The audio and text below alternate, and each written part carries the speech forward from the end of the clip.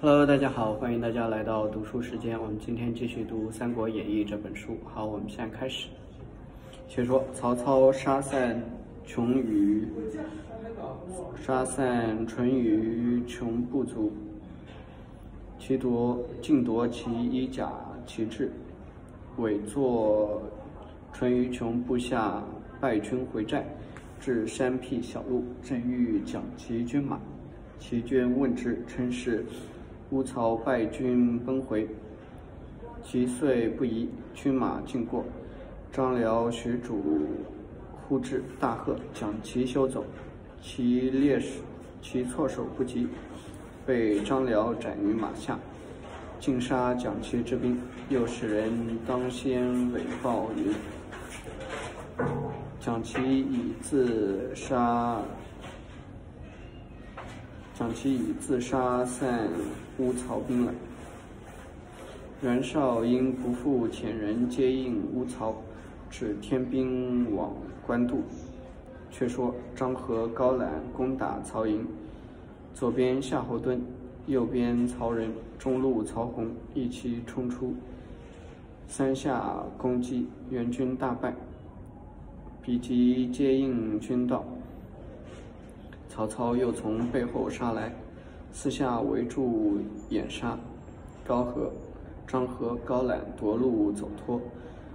袁绍收得乌曹败残军马归寨，见淳于琼耳鼻皆无，手足尽落。少问如何失了乌曹，败军告说淳于琼醉卧。因此不能抵敌，少怒，辞力斩之。郭图恐张合、高览回寨正对是非，先于袁绍前瞻曰：“张合、高览见主公兵败，心中必喜。”绍曰：“何出此言？”图曰：“二人素有降曹之意，今遣击寨。”故意不肯用力，止损折，以致损折士卒。少大怒，遂遣即遂遣使急召二人归寨问罪。郭图先使人报二人云：“主公将杀如矣。”吉少使至，高览问曰：“主公唤我等为何？为何？”使者曰：“不知何故。”览遂拔剑斩来时，何大惊。览曰：“袁绍听信谗言，必为曹操所擒。吾等岂可坐而待死？不如去投曹操。”何曰：“吾亦有此心久矣。”于是二人领本部兵马往曹操寨中投降。夏侯惇曰：“张高二人来降，未知虚实。”操曰：“吾以恩遇之，虽有一心，亦可辨矣。”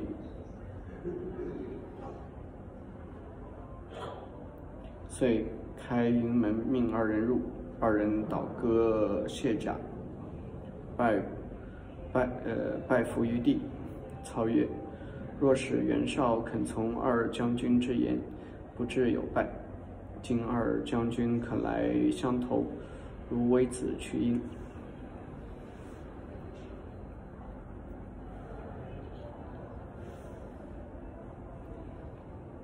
韩信归汉也，遂封张合为偏将军、都亭侯，高览为偏将军、东莱侯。二人大喜。却说袁绍既去了许。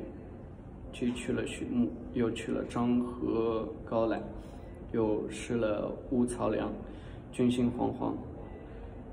许穆又劝曹操作速进兵，张合、高览请为先锋，操从之，即令张合、高览领兵往劫少寨。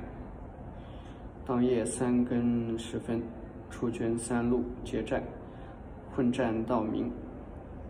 各自收兵，少军折其大半。许穆献计曰：“今可扬言调拨人马，一路取酸枣，攻叶郡，一路取黎阳，断援兵归路。袁绍闻之，必然惶恐，必然惊惶，分兵拒我。我趁其兵动时击之，少可破也。操用其机，使大小三军四远扬言。少军闻此信，来寨中报说。曹操分兵两路，一路取叶郡，一路取黎阳去也。少大惊，即遣袁谭分兵挽救叶郡，新民分兵挽救黎阳。连夜起行，曹操探知袁绍兵动，便分大队军马，八路齐出，直冲少营。援军俱无斗志，四散奔走，遂大溃。袁绍披甲不迭，单衣负荆上马。幼子袁尚后遂，张辽、许褚、徐晃、于禁四员将引军追赶袁绍。绍即渡河，尽弃图书车仗金帛，只引随行八百余骑而去。曹军追之不及，尽获以下之物，所杀八万余人，血流银血流银沟，溺水死者不计其数。操获全胜，将所得金宝缎匹给赏将军，于图书中检出书信一束，皆许都及军中诸人与少。暗通之术，左右曰：“可逐一对姓名，收而杀之。”操曰：“当少之强，孤亦不能自保，况他人乎？”遂命尽焚之，更不再问。却说袁绍兵败而溃，兵败而奔，祖寿因被囚禁，急走不脱。为曹军为曹军所获。群见曹操，操素与寿相识。寿见寿见操，大呼曰：“寿不降也。”操曰：“本初无谋，不用君言。君何上之迷耶？吾若早得足下。”天不天下不足虑也，因后代之。由于军中，受乃于营中盗马，欲归原氏。操怒，乃杀之。受至死神色不变。操叹曰：“吾误杀忠义之士也。”命后礼兵辇。未见坟安葬于黄河渡口，题其墓曰：“忠烈举，忠烈祖君之墓。”后人有诗赞曰：“河北多名士，忠贞推举君。灵谋知政法，仰面识天文。至死心如铁，临危气似云。曹公轻易烈。”特与见孤坟，操下令攻冀州，正是示弱，只因多胜，多算胜，兵强却为寡谋亡，未知胜负如何？且看下文分解。第三十一回，曹操仓亭破本初，玄德荆州一刘表。却说。曹操趁袁绍之败，整顿军马，以力追袭。袁绍服金单衣，引八百余骑，奔至黎阳北岸。大将蒋义渠出寨迎接。绍以前世宿于义渠，义渠乃遭遇离散之众。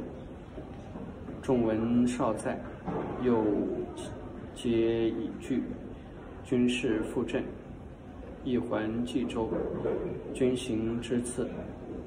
夜宿荒山，少于帐中闻远闻远远有哭声，遂思往听之，却是败军相聚，诉说丧兄失弟、弃伴亡亲之苦，个个捶胸大哭，皆曰：“若听丰田，若听田丰之言，我等怎操此祸？”少大悔曰：“吾不听田丰之言，兵败将亡，今回去，有何面目见之耶？”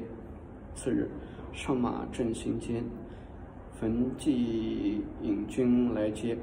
少对冯骥曰：“吾不听田丰之言，只有此败。吾今归去，休见此人。”冯骥因。因瞻曰：“封在狱中，闻主公兵败。”夫长大笑曰：“果不出吾之料。”袁绍大怒曰：“坚如怎敢笑我？我必杀之！”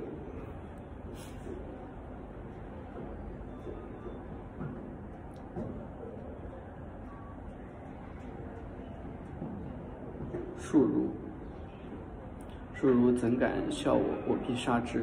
遂命使者奔宝剑，先往冀州狱中杀田丰。却说田丰在狱中一日，狱吏来见丰曰：“与别贺贺喜，与别驾贺喜。”丰曰：“何喜可贺？”玉立曰：“元元将元将军大败而回，君必见重矣。”丰笑曰：“吾今死矣。”欲吏问曰：“人皆言君喜，喜何言死？君何言死也？”封曰：“元将军外宽而内忌，不念忠臣。若胜而喜，犹能赦我；今战败而休，吾不忘生矣。”欲逆未信，夫使者奔见之，传袁绍命，欲取田丰之首。欲立方惊。封曰：“吾故之必死也。”欲立皆流泪。封曰：“大丈夫生于天地间，不识其主而视之，是无志也。今日受死，夫何足惜？”乃自刎于狱中。后人有诗曰：“昨朝祖寿军中事。”今日田丰狱内亡，河北栋梁皆折断，本初焉不丧家邦？田丰既死，闻者皆为叹息。袁绍回冀州，心烦意乱，不理政事。其妻刘氏劝立后嗣。少所生三子，长子袁谭字思字显思。出守青州，次子袁熙字显义，出守幽州；三子袁尚字显朴，是少后期刘氏所出，深得形貌俊伟，少甚爱之，因此留在身边。自官渡兵败之后，刘氏劝立尚为后嗣，少乃与沈佩、冯骥。新平、郭图四人商议，原来沈冯二人向普袁尚，新郭二人向普袁谭，四人各为其主。当下袁绍谓四人曰：“今外患未息，内事不可不早立。吾将屹立后嗣。长子谭为为人性刚好杀，次子熙为人柔。”懦难臣，三子上有英雄之表，礼贤进士，吾欲立之，空等之意若何？郭图曰：三子之中，谭为长，今有居外，主公若废长立幼，此乱盟也。今军威稍挫，敌兵压境。岂可复使父子兄弟自相争乱也？主公且理会拒敌之策，立嗣之事，勿容多议。袁绍踌躇未决。好，谢谢大家，我们今天先读到这里吧。那我们下次再见了，拜拜。